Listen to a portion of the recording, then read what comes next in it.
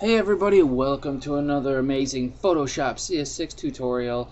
I'm your host Buddy Blackford and today I want to go over setting your preferences in Photoshop.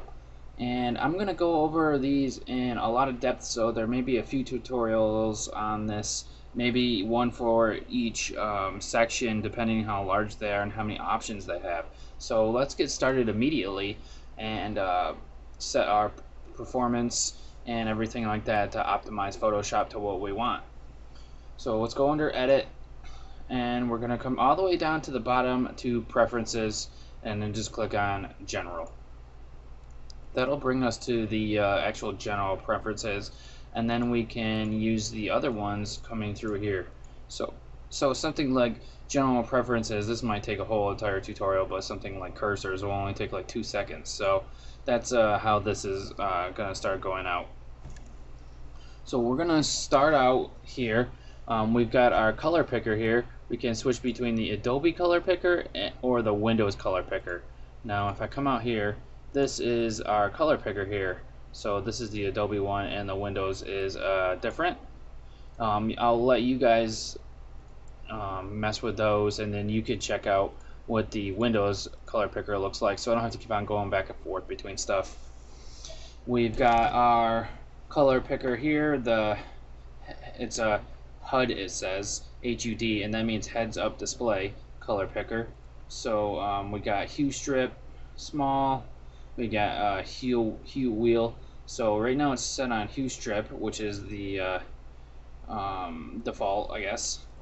You can increase the size if you would like, or change it to a wheel. So I guess I'm gonna come back over here. See if I can click on this again see this um, this is the hue stripper right here. So you can make it larger or smaller or whatever you need to. Let's go back into the preferences. Now um, image interpolation. Now I made a tutorial about these um, uh, when I in a few tutorials back. I'm not exactly sure which one it was in but um, go through go back and see if you can figure out because there's the different types of image interpolation here. Most of the time you just want to keep it on bicubic automatic and if you don't know what you're doing yet with these just keep it on bicubic automatic. Now the little checkboxes here we have different options for everything. Um, auto update document, open doc documents, um, it uh, creates a link between the open image, so the one that you have open, and the image file on the hard disk. So it'll update that stuff for you if you've been working on it in another program. Beep when done makes a sound when an operation is complete and uh, most of the time you want to have that off because it's pretty effing annoying. Especially if you're working in a studio. That's like a trick that we play on people. Sometimes is turn on their beep when done and uh, people that are new don't sometimes they don't know about these uh, preferences and stuff, so they don't know what's going on, and everybody gives them dirty looks. It's awesome. Anyways, dynamic color sliders. Um, previews the color effects within the slider bars, so I mean, you can, I don't know, just previews. So keep that on. Export clipboard uh, means that it transfers a uh, copied image to the operating system's uh, clipboard. So, like if we copied text in Photoshop, we could take that text and paste it into something like Google Chrome if we wanted to, or into like Notepad or anything like that.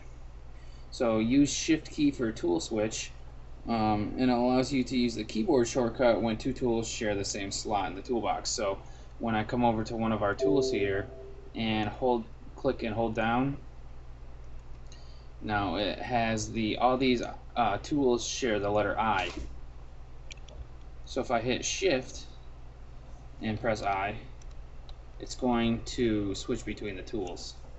So that's what that does. You want to keep that on. Should just use the hotkey for this, but too lazy. Um, resize the uh, image during place, which when you go to place an image, like back in an earlier tutorial where he told you how to insert images, um, it'll allow you to resize it while you're doing that, which is really good because sometimes they come in way bigger than your canvas and you have to resize them down. And uh, they come in as a smart object too, so keep that on. Um, we got animated zoom is that's the one that's next. Yep. Um, so when you're zooming, it like does like a smooth zoom in and out and and um, enables your scrubby zoom. So keep that one on.